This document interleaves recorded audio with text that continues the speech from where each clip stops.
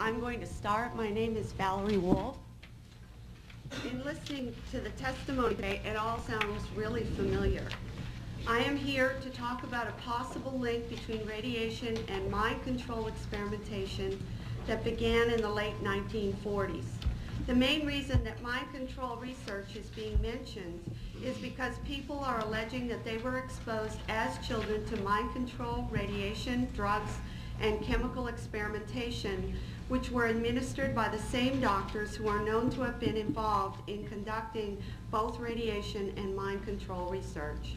Written documentation has been provided revealing the names of people and the names of research projects in statements from people across the country. It is also important to understand that mind control techniques and follow-ups into adulthood may have been used to intimidate these particular research subjects into not talking about their victimization in government research. As a therapist for the past 22 years, I have specialized in treating victims and perpetrators of trauma and their families. When word got out that I was appearing at this hearing, nearly 40 therapists across the country, and I had about a week and a half to prepare, contacted me to talk about clients who had reported being subjects in radiation and mind control experiments. The consistency of people's stories about the purpose of the mind control and pain induction techniques such as electric shock, use of hallucinogens, sensory deprivation, hypnosis, dislocation of limbs, and sexual abuse is remarkable. There is almost nothing published on this aspect of mind control used with children, and these clients come from all over the country having had no contact with each other.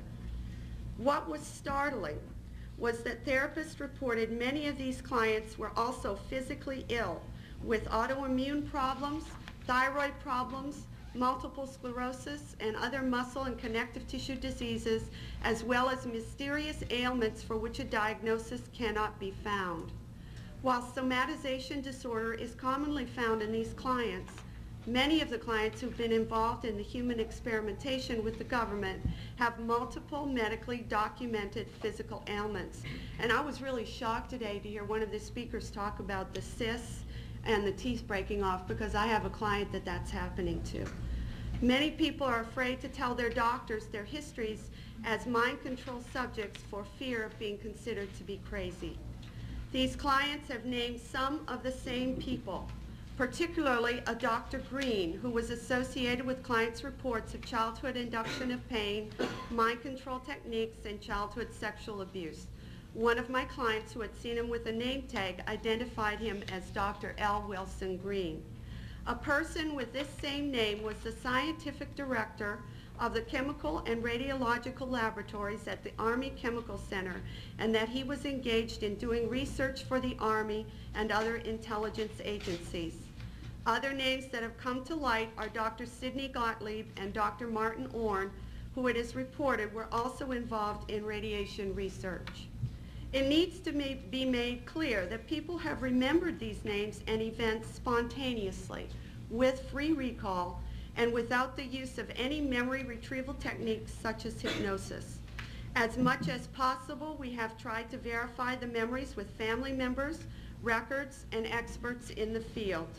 Many attempts have been made through Freedom of Information Act filings to gain access to the mind control research documentation.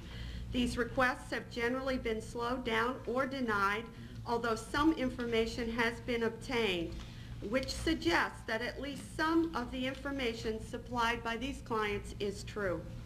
It is important that we obtain all of the information contained in the CIA and military files to verify or deny our clients' memories.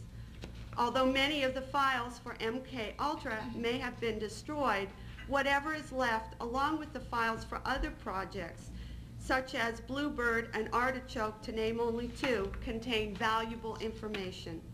Furthermore, if, as the evidence suggests, some of these people were used in radiation experiments, there might be information in the mind control experiment files on radiation experiments. We need this information to help in the rehabilitation and treatment of many people who have severe psychological and medical problems which interfere with their social, emotional, and financial well-being. Finally, I urge you to recommend an investigation into these matters. Although there was a commission on mind control, it did not include, include experiments on children because most of them were too young or still involved in the research in the late 1970s to come forward. The only way to end the harassment and suffering of these people is to make public what has happened to them in the mind control experiments. Please recommend that there be an investigation and that the files be opened on the mind control experiments as they related to children. Thank you. And you go next? Good afternoon.